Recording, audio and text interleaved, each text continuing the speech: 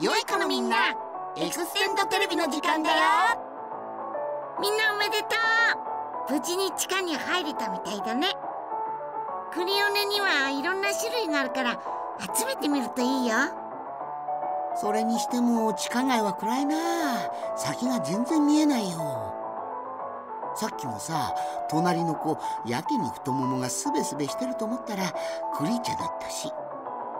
それスキンシップする前にわからなかった？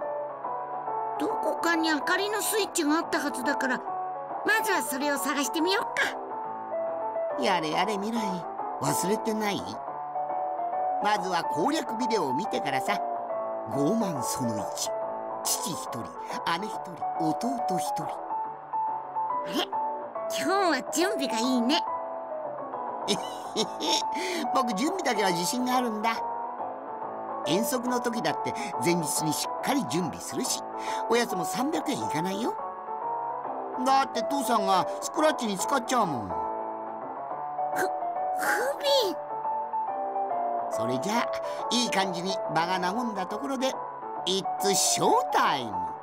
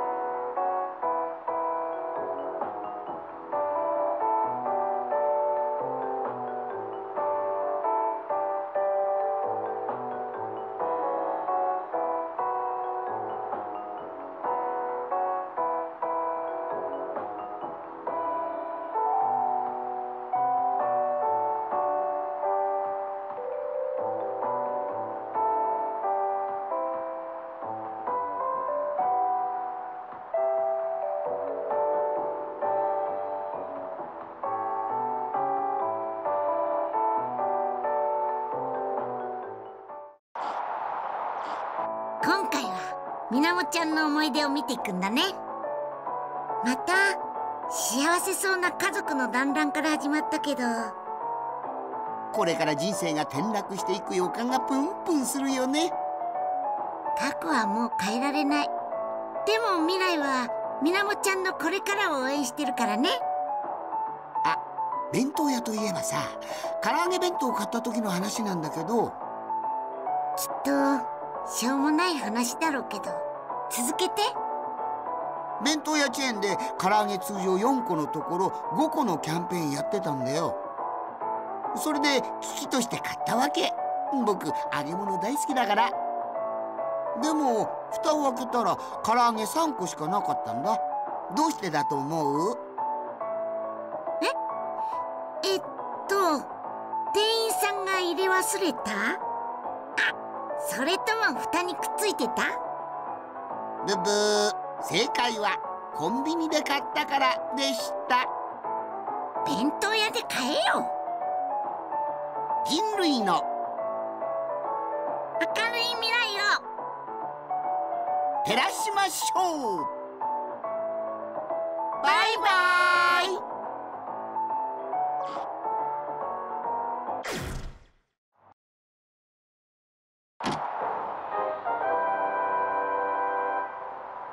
良い子のみんなエクステンドテレビの時間だよ。今回の攻略ビデオは傲慢その2源時計泥棒だね。よし穴が開くほど見てやるぞ。It's show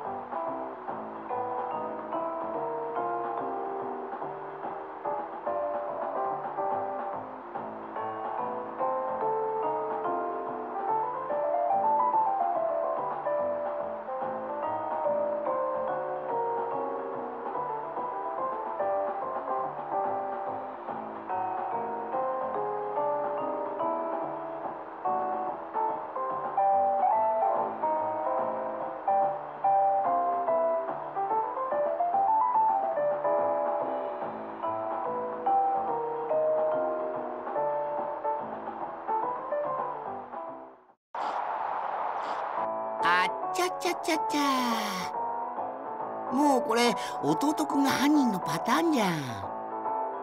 そそんなのまだわからないよ。決めつけから冤罪が始まるんだからね。それもこれも全部貧乏が悪いんだ。みなもちゃんの家にもっとお金があれば。そんなに貧乏じゃないと思うよ。みなもちゃん警察官だし。弟くんも僕もここまで腐った草屋になることはなかったんだ。え？今僕もって言った？まさか翔くんのパパもお弁当屋さんを？僕の父さん弁当持ちってよく言われてたよ。やっぱりそうなん。ん？ん？弁当売りじゃなくて？やだな未来。知らないの？刑事裁判で執行猶予がついた人を弁当持ちって言うんだぜ。知らないよ。そして知りたくなかった。一度草屋になった魚はどうあがいても草屋になる前には戻れない。今日はこれだけ覚えて帰ってほしい。もう突っ込む気力もなくなっちゃったから今日はこの辺で。人類の。明るい未来を。照らしましょう。バイバイ。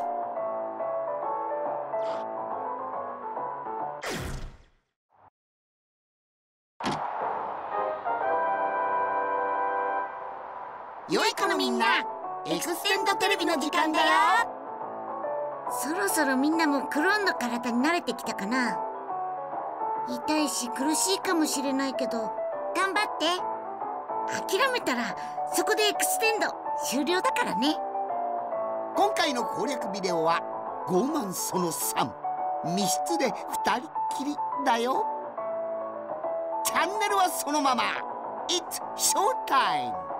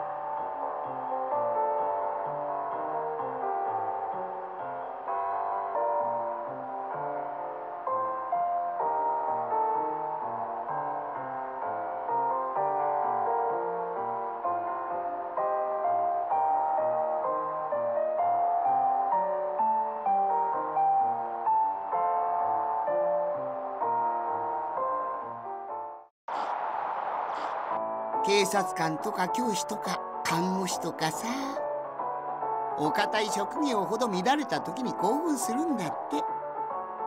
いきなり何の話？未来ちょっと後ろ向いてよ。あこいつお尻が丸見えだぞ。いやもうダメ。ほらね狙ってるのが透けて見えるもんやっぱり MC なんてゆるゆるの職業じゃダメさ。なんでお尻見られた上にダメ出しされてるの？もう翔くんはもっと年相応のお話をした方がいいよ。え？僕くらいの男の子はだいたいこんな話だよ。頭の中は揚げ物と熟女のことでいっぱい。それが健康的な小学生男子ってもんさ。熟女好きは翔くん固有スキルでしょ？もう先に進めよ。う合言葉は人類の。明るい未来を。照らしましょう。バイバ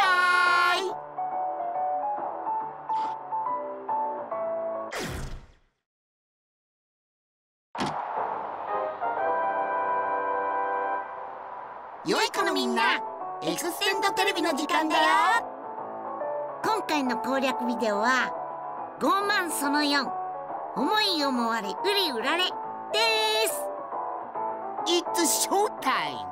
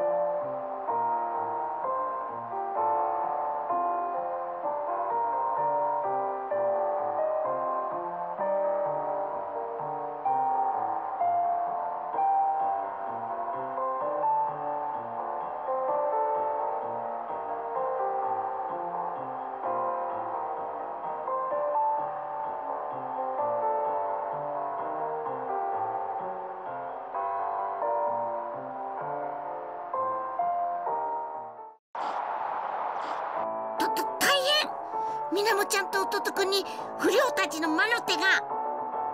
あれが不良グループってやつか。財布のチェーンで人の首を絞めるという蛮族。ブス。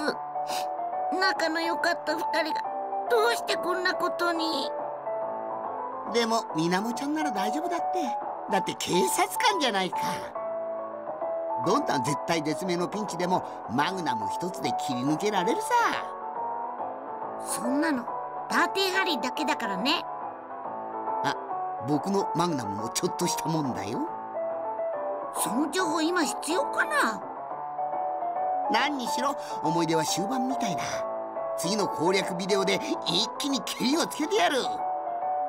どうかみなもちゃんが幸せになりますように。合言葉は？人類の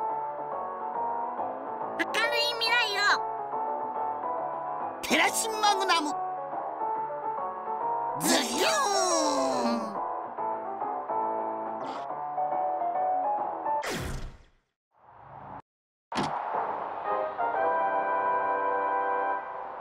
良い子のみんなエクステンドテレビの時間だよ。ねえ未来。だいぶ歩いたけどゴールはまだなの？僕もう足が大根みたいだよ。もうそろそろだと思うけどレーダーで確認してみようか。ほら見て。エクステンドマシンのパーツ反応近いよ。うわあもう目と鼻のクソだ。さっきからちょいちょい表現がずれてる。あと少しだからみんな最後まで頑張ろうね。で今回は攻略ビデオはあるんだよねトーンの善です。じゃじゃーん。傲慢その後終わり。アンフェア。ついにみなもちゃんの思い出も最終回か。前回はみなもちゃんが不良グループに囲まれて終わったんだっけ？うーん。未来はとっっても心配です。やれやれ。昔のことだろう。もう終わった話じゃないか。あ嫌な彼氏みたいな言い方して。そんなに熱くなるなって。それよりほらこっち来いよ。いや触らないでもう翔くんとは会わないから。翔くんのそういうとこ本当はずっと嫌だったの。へそれでいい。こんな根なし草にいつまでも付き合っちゃダメさ。えもしかして翔くん未来の未来のためにわざとあんな態度？をちめめしい羊だぜ。エゲレス生まれのショーンと幸せになんな。そんな翔くん翔くんイエスフォーリンラブ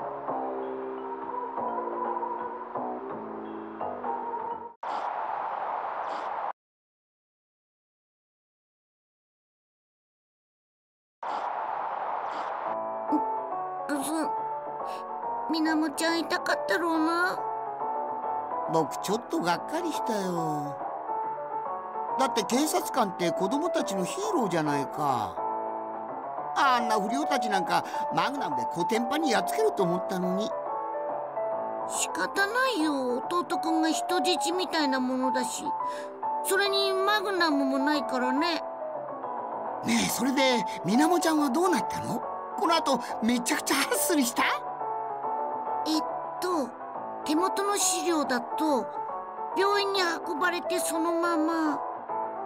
畜生不良どもめ。貴重な巨乳キャラを。身の程知らずがもし街で出会ったらひどいぞ。僕は土下座の鬼と化す。あ自分の身の程はよく知ってるんだね。とにかく攻略ビデオはこれで最後です。もうボスの正体は分かったかな。あとはいつも通りボスを倒してパーツを手に入れるだけさ。エクステンドテレビはずっとみんなの味方だからね。合言葉は？人類の。明るい未来を。照らしましょう。バイバーイ